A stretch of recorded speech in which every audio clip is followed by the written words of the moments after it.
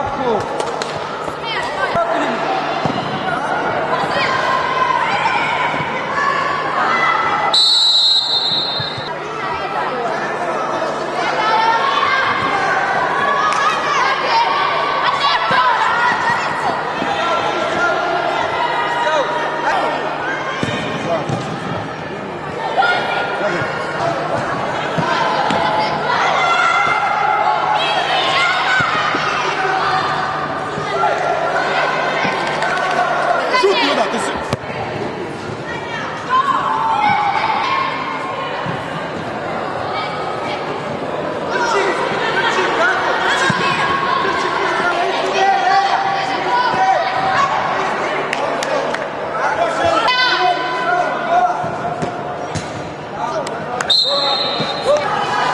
Da se smiješ igraj, ozbiljno igraj.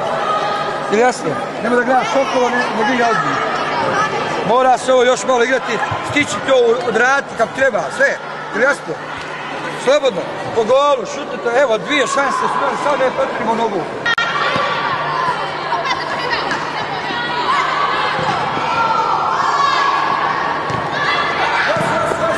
Gore izbi, gore izbi, gore, gore izbi. A bit će